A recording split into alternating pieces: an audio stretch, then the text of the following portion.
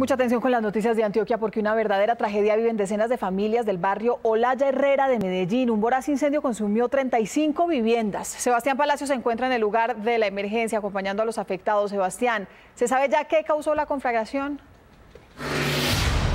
Mónica, televidentes, muy buenas tardes y en este momento aún es materia de investigación lo que pasó, lo que sucedió en este lugar. Una de las principales hipótesis que manejan las autoridades es que esto se presentó debido a un fogón de leña. En este momento la comunidad empieza a caminar sobre los escombros de lo que hasta ayer eran sus viviendas. El personal del ISBIMET y del DAGRET en este momento empiezan a recoger las cifras para poder brindarle ayuda a esas personas que resultaron damnificadas.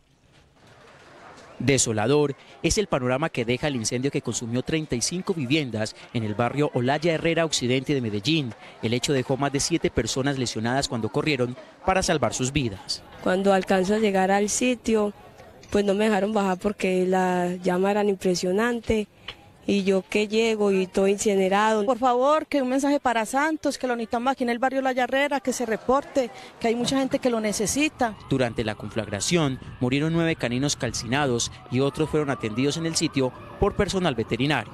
Y en medio del humo y los escombros, lo único que se logra ver es esta estufa. En este punto quedaba una de las 35 viviendas que resultaron afectadas. El alcalde de la ciudad, Federico Gutiérrez, ha estado acompañando a toda la comunidad, les brindó albergues y kits de aseo. Tenemos 226 personas afectadas con este incendio.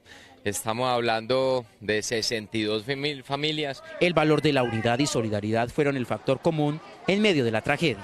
Eso fue terrible, yo ya subí, ya no había por dónde entrar, ya no se veía sino la comunidad colaborando, la comunidad nos colaboró mucho. La emergencia fue atendida por el Cuerpo de Bomberos de Medellín y demás socorristas que llegaron al lugar.